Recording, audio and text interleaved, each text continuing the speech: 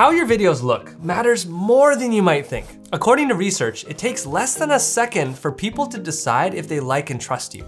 And in this world where attention is everything, attention is so just powerful. Attention is the new oil. The success of your online presence depends as much on how you look as the actual spoken content itself. So today we're gonna go through eight things you didn't realize your video setup was saying about you to your audience and how to easily fix them. This video is actually based on my most viral Twitter thread of all time, which was shared by thousands of people and seen by over 4 million, which is crazy to me. Go follow me, by the way, if we're not already connected. So chances are, if you watch to the end of this video, you'll walk away with at least one thing you can do to immediately improve how you come across on camera. It's a small time investment that will pay you dividends infinitely for decades to come. All right, so number one, super important, your camera angle. So many people have their cameras mounted above their monitors and it looks down at you. And when your camera does this, it destroys your credibility. You put your audience in the perspective of a superior, peering over, say, your cubicle, checking in on your work, literally looking down at you. So to establish more authority, lower your camera to chin height. You don't wanna go too low so now they're looking up your nose. That'll make you feel overbearing. But you wanna have some healthy medium where they're not looking down at you nor too far up at you. In this way, you wanna really intentionally design how your viewer sees you.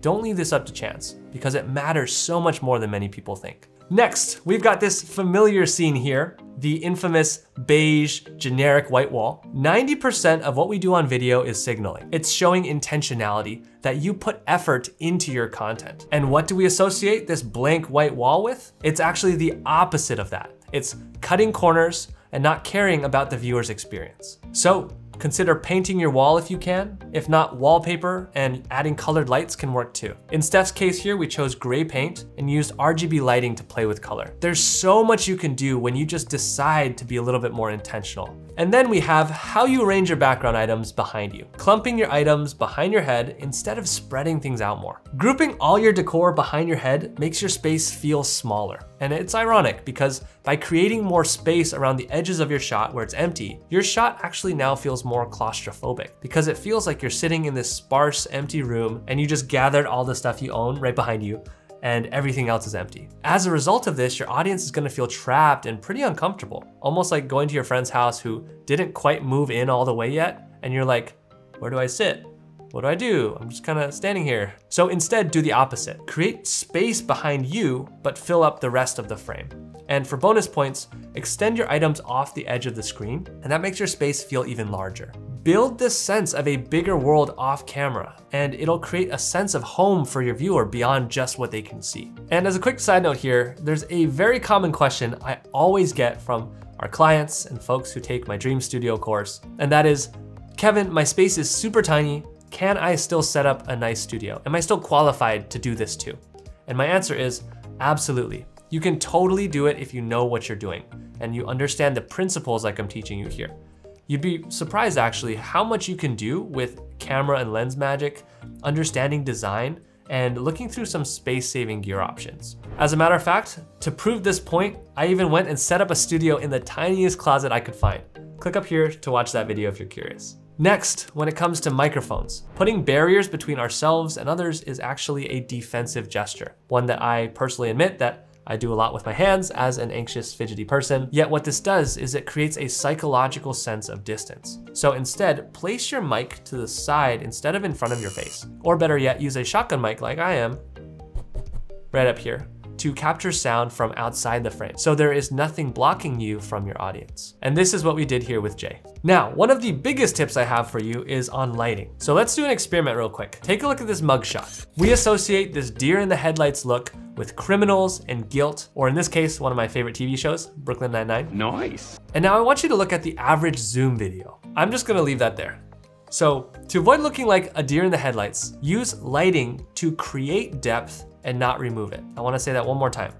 Use lighting to create depth, not remove it. Your job is not to throw as much light as you possibly can as if the person can't see you. Your job is to use light and shadow to create a sense of depth. And the best way to do this? Move your lights away from center to more so the one or two o'clock position and don't mirror them symmetrically if you have more than one. You do not want a symmetrical lighting setup in front of you. One side should have more light than the other so that your lighting can sort of fall off in one direction. And for bonus points, raise your light higher to create a more softer, flattering feel. I call this the shampoo commercial look. Now, in the same way, you also wanna be careful with the light sources directly behind you. We associate dark, shadowy silhouettes with villains or say the witness protection program.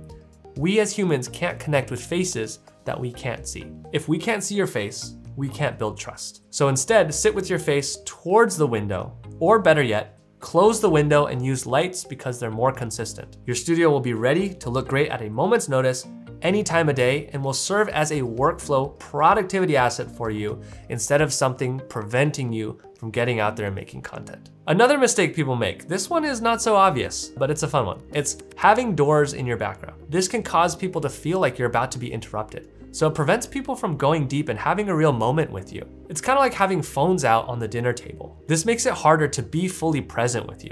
So if you happen to have a door in your space, which I can't imagine not, Try turning your desk around so your camera points away from doors and other distractions. This pulls the viewer's eyes towards your face, pulls their attention towards you and what you have to say, and not away from you. If you can make them feel like you two are the only two people in the world, you'll have a much more powerful human connection with your audience. And finally, this is perhaps my favorite one of them all, using lighting to set the tone of the interaction, to share the heart behind your content, and help the person feel that you truly care about them as people, not just merely metrics on a screen. So to illustrate just how powerful this is, I wanna do a small experiment with you.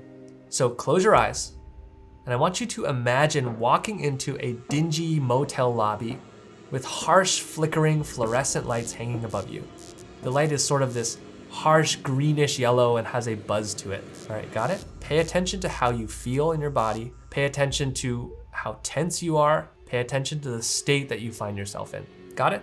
Okay, now let's imagine something else contrast with that. This time it's a different lobby. This time it's a cozy ski lodge with a warm fireplace and a warm, soft glow from the lights above and around you. Now in both situations, imagine someone you've never met before comes up to you. In which setting are you more open to connecting with that person? In the first situation, your body actually goes into this fight or flight mode, and that harsh lighting and that environment elevates your stress hormone cortisol, and it puts you in a defensive state. Your body is actually gonna be telling you, keep some distance, do not engage with this person, just get out alive.